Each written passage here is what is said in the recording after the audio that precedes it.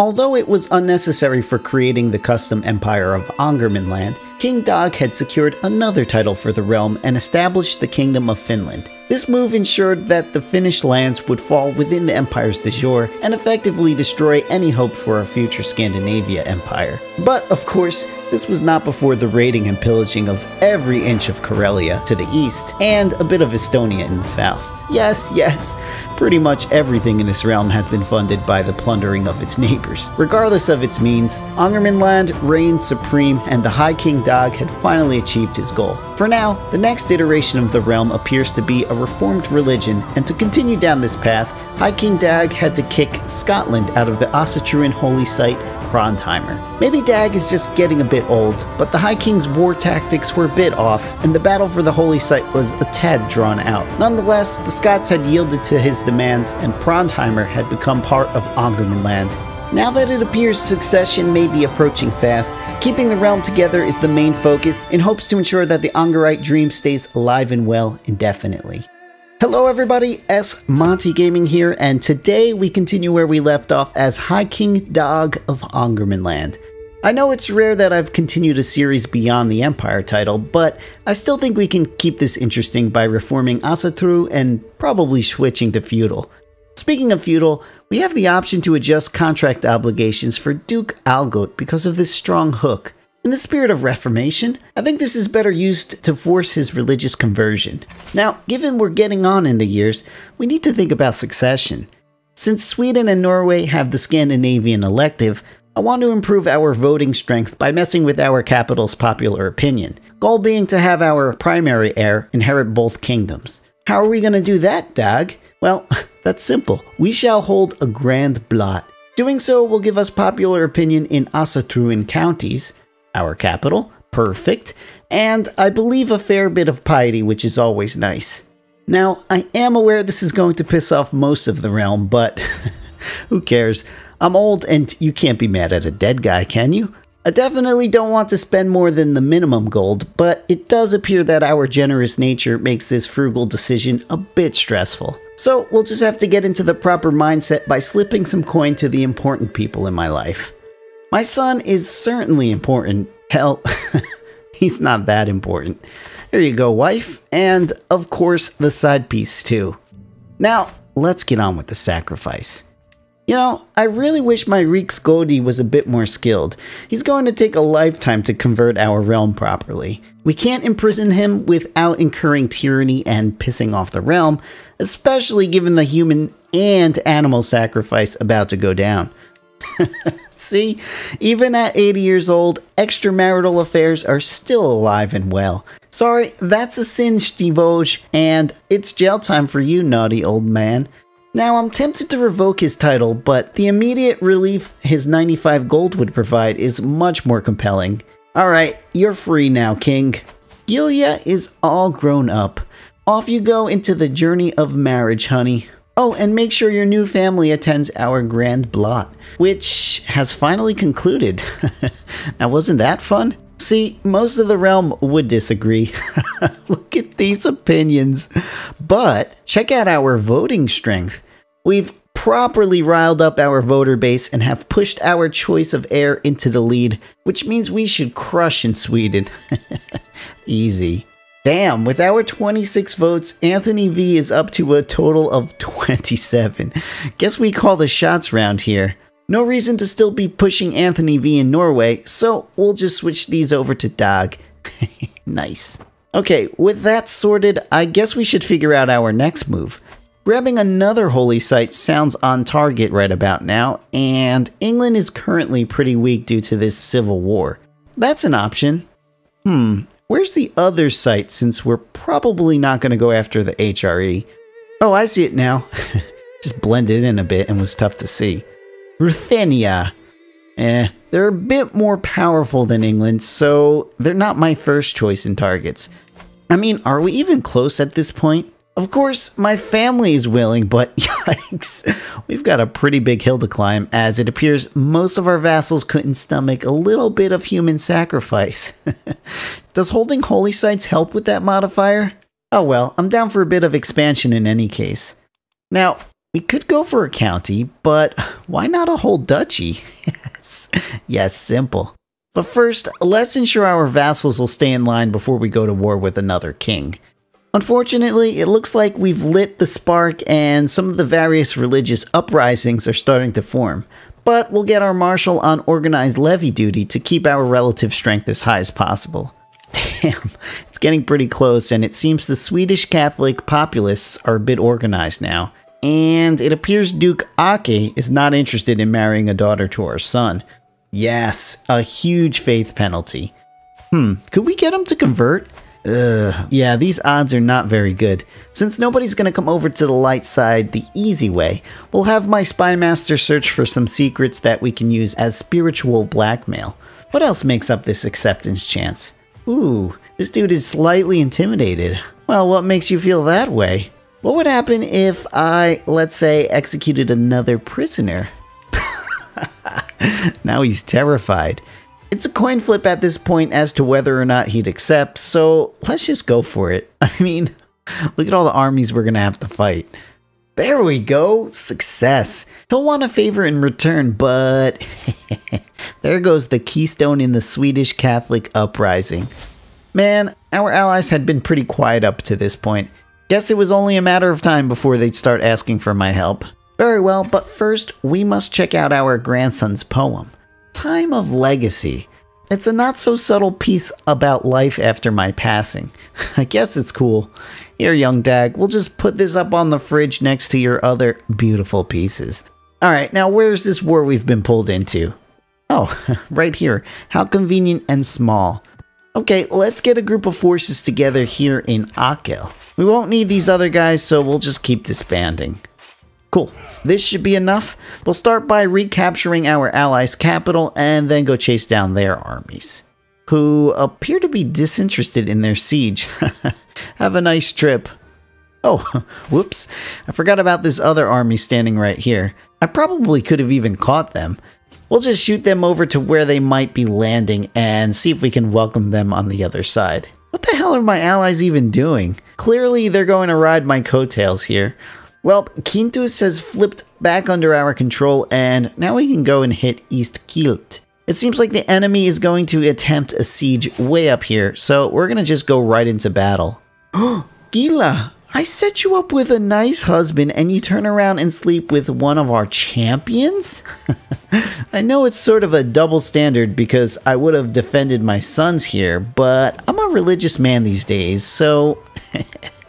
oh, raiders.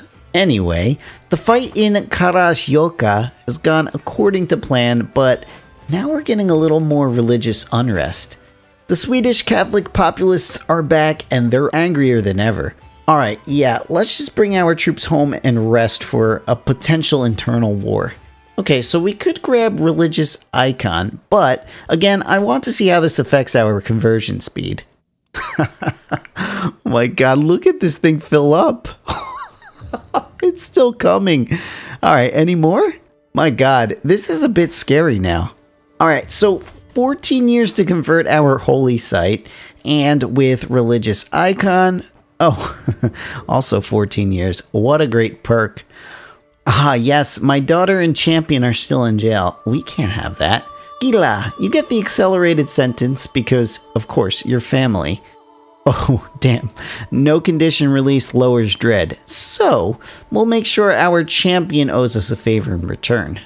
Holy crap. Did this get bigger? That's what she said. We do have a hook, however, on the heaviest of hitters here, so we'll just force him to switch to the Asatruan side of things. And there we are. Oh, that's just the champion. I got excited. Ah, there it is. A favor in return for his conversion seems reasonable, and let's see. Oh, bye bye, Catholics. While we're doing some realm management here, let's see if we can bury some of the feistiest of our vassals under other rulers. Bottom of this list, Count Casper of Circipania. Oh yeah, we'll need this duchy first, but here we go. This guy, our son Noah. You can be the new Duke and take care of our boy Casper. Thanks. Now, Schooly over here can go under Holfer, but he's a Catholic. Might as well get him under a proper Asatruan. Duke Sturla. Hmm, this may boost his opinion a bit as well. Let's see. He's at minus 69 to conversion, and with a granted vassal, hmm, not bad. Minus 29 now. Oh god, why am I even bothering? I'll never have this piety in time. Oh, wait a minute. Profits minus 50% cost. Yeah, never mind. We're actually there then. Ah, oh, yes, this war is over. Might be a good time to get moving on that county in England. Factions look good, and there's the end of the call to arms. oh, yeah, there's that. I was certainly aware our passing was close, but I mean, 69 isn't that old, right? Can't complain, we did a lot with the former High King, and now we get to take over as Legende's son, Dag II, the new High King. Alright, let's see what we're working with here. It looks like we've inherited most of the champions, still doesn't hurt to invite a few more to the court. It's definitely going to be an uphill battle for the elective succession, but we're young. We don't need to worry about that just yet. Lots of empty seats on our council, so we'll get that in order first. I'm seeing lots of negative opinions here, so I think we're going to have to prefer vassals here to attempt to keep things in line. Duke Aki, pretty good. Duke Algot, the Duchess as our marshal, and this is kind of sketchy. Duke Helgi can be our spy master. I know it's a risky pick, but whatever. Awesome. It also appears we didn't lose any territory upon succession. I was fairly confident that this would be the case, but you never know with Confederate partition. Ooh, Baby's first faction. I'm sure their relative strength is a display bug at the moment, but I'm also sure we're going to have to keep an eye on this in the near future. Is it weird to have a crush on your aunt? yep, I'd say so. But this is an opportunity to become vengeful, which is a virtue to Asatruans. The extra monthly piety is going to be good for our eventual reformation plans as well. Ooh, yeah, we're way behind on that now. in any case, we need to be in self-preservation mode at the moment. Our uncle, Anthony V, appears to have become the king of Lapoland, Apparently, he hates me and is gunning for my throne. Once this updates though, we'll be able to assess how real of a threat this faction is. We've got potential prisoners, some of them vassals, but yeah, our chances don't look good. Ah, my widowed stepmother Welikan. She'd make a nice court physician. Let's get her on that. You know, she deserves to be happy too, and a matrilineal marriage with this beefy Gustav would benefit the realm for sure. Now that the numbers have settled, King Anthony has clearly struck the right chord with his fellow vassals, and he's got quite a bit of support for the claim on the Empire. I'm thinking we could soften him up a bit with some restructuring. We'll see if we've got any counts trying to stir the pot. Here we are, my old commander, Count Hrolfr. The local duke here is Sturla, who actually doesn't appear to be in the faction. Perfect, let's get you under him and out of the faction. That drops their strength down to 104%. Looks like we have a Count Spade now that we can offload as well. Yeah, no way we give it to Anthony V. Uncle M. Cerny, however, seems somewhat on our side, so we'll slide you right under his rule. Yes, the claimant faction is down to 84%. One more of these plays and we should be under the threshold. Count Inglefur, Duke Algot over here is kinda cool with me too, so meet your new liege. There we are. What? Sturla, why do you torture me? What do you want? You want to be Marshal? There. Is that enough? Come on, let's talk about it. Yeah, God knows I'm not handing you that much gold. Maybe it's best we put our spy master in Anthony V's court to see if we can find out some dirty secrets. 45% chance isn't great, but worth a shot nonetheless. Damn, so many vassals jumping on this bandwagon. Look, nobody wants to join your Swedish Catholic populist movement. Hashtag Anthony V is what's trendy today. Oh, perfect. My dog is now run off with Denmark's first pupper to make some babies, eh? I'm guessing that's not grounds for an alliance, right? Speaking of, I think we should make sure we've got one of our own to help in this looming civil war. Oh, cool. Our half brother can get us 5,300 troops from Samogitia and yeah, just in time. The Anthony V squad has decided it's time to make their demand. You know, considering the amount of rulers involved, this troop count seems awfully low. Well, you hate to see it. The sad state of Angermanland for now, but times like these are inevitable. Let's go ahead and get our troops set up outside Anthony V's capital, along with calling our newly formed allies to our side. Abhorrent? well, that's not too nice. Just get your troops over here and help us out. no, I'm not laughing because this dude is immediately asking me to return the favor, but look at this change of tone. Now we're impressive. yeah, thanks, dude. Man, I wish everything was as easy as puppy politics. Yeah, we're not going to give this puppy to Anthony V. Frederick, on the other hand, he looks like a nice little boy. He can have it. Alright, back to war. Since our allies are probably not going to join, let's run down these troops before they group up. Looks like we'll catch at least part of them in Kitila. Wait, no war score? I always mess that up. Yep, this was some sort of neutral hostile troop. The real war is going on over here. Well, we're gonna go ahead and try to siege Lapolin's capital, and, well, yeah, I guess we're fighting the neutrals again. I'm so bad at this game sometimes. There we go, another battle down, and, yep, no war score.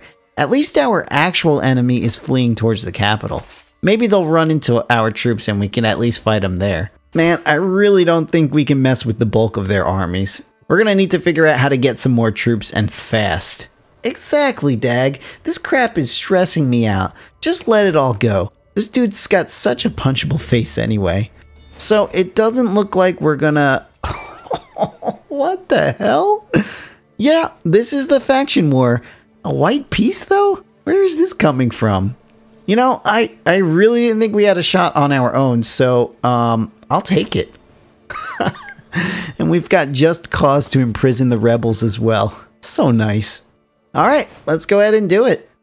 Oh, crap. I forgot I've got some terrible success chance for imprisonment. 0% for King Anthony V. Only 28% on Callum. I should have known this punk was involved in some way. Alright, let's try to settle things with our allies war as we're going to need them to stay on our side for future conflicts. We'll just send an insignificant amount of troops just for credit. You know, like that guy that just puts his name on the group project but offers no help. Here, we'll just skirt around and see if we can catch one of their armies. And it's gone. Alright. Ah, what a sight. For the first time in my rule, I feel like things are a bit peaceful. Our troops are at rest, the factions are somewhat quiet, and ooh, we finally get to go to one of these parties. Oh, it's Frederick. I knew he was the right one to give the puppy to. I'm not sure why it took me so long to realize that the second name references the character's father, which I'm sure is tradition. Otherwise, I would never have realized that Finland's new king is Rizzo's son. Nice, all these powerful dynasty members getting us that renown. I'm not really certain which perk will get us the most benefit, but we're young, and given I don't typically mess around with genetics, maybe now's the time. Yeah, let's go ahead and grab Noble Veins to make that easier. And the party's over. Didn't really live up to the hype in my opinion. Oh, Vligende son. Frederick was my brother. Yeah, I should pay more attention. Since things have settled, I really don't feel like I've got enough closure from that civil war. Certainly, we can't end the episode on a little kitty party. Let's see, who can we take down a notch? Surely Callum is always a safe option, but he's technically family. In any case, Duke Ulfkel has four counties. Yeah, you know, let's try and throw him in jail and see what happens. Now, I do worry because this prompt does say that other vassals might rebel, and I'd really hate to be back in the same war that we just settled, so we'll just hold our breath. Ooh, some Glory Seekers. It's more expensive, but we can get some Huskarls on our side. Our golden income is pretty healthy, so why not? Perfect! The extra troops just in time. It seems Duke Ulfkel has chosen war, and he's on his own. Since it's not going to cost us prestige, let's go ahead and get Samogitia back on our side, and now we're vile. Dude, you have a problem. Now that our troops are together, our first target is the capital of Heidmark. There's a set of defenders skirting around our forces over in Vestfold, so we'll have our other guys meet up for battle. Oh, they're trying to flee to sea. I'm thinking we should still get there in time for battle. Yep, certainly looks like we're going to catch the back half of this army now that their other dudes have to turn around and come back to shore. Easy enough. Now we'll just push up into the mountains and get another siege going. Actually, we'll get a third siege started as we can split off besiegers from Heidmork. I'm definitely not going to attempt to pronounce these counties as I'll probably butcher them beyond recognition. Ah, check out the man himself, High King Dag II. Dude, come on, two star education trait? Could have done better. Let's now take a moment from the war and get a few things out of the way. Our betrothed, hey, she's a poet too, is not quite cutting it for our needs. We'll just hit her with the tried and true, hey, it's not you, it's me. And we're out of it. Given we've taken noble veins, I want to grab a wife with a congenital trait. Pretty would be a nice gene to start with, but I really don't want to take that huge prestige hit by marrying a lowborn. Let's take the long road for now and go for Fecund first, so we can really churn out those kids. Are you kidding me? Callum, you motherfucker. It truly doesn't matter who's in charge. You've always got to insert yourself into the drama. I'm still shuffling around troops for the sieges as I keep forgetting that it prefers men at arms when stationing besiegers, and we really want them closer to battle. As the soldiers find their places, we'll get our focus going. I'm still committed to this religion reformation, so naturally, we're going to choose learning. Having theology focus will grant us an additional piety per month, and that's certainly going to add up over time. Alright, Heidmark falls, and we can start pushing our troops up for some additional sieging. We've got our best men towards the north in case Callum decides to show up, though his troops are sort of missing in action at the moment. Alright, 19 days left on this holding, 2 months here, and another 7 over there. Yeah, this is looking pretty strong right now. now, this is the stuff daytime TV thrives on. Apparently, Hallstein, the son of my spymaster, has accused my spymaster, his dad, of sleeping with his own sister, Hallstein's aunt. I've heard enough. Guards, put them both away. Now we're at 100% war score, but I'm just going to wait for this siege to finish and get all that gold. There it is. Let's go ahead and get those titles off his hands now that he's in prison. Thank you, sir. Oh shoot, that's right. We put Duke Helgi in jail because of the shenanigans with his sister.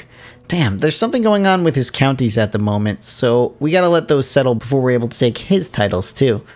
Alright, with that, a new runestone to commemorate things, and of course, another ally war, I think this is a good time to stop things yeah, I'm really liking how things are going at the moment, so we'll be sure to continue picking apart our vassals in the next episode.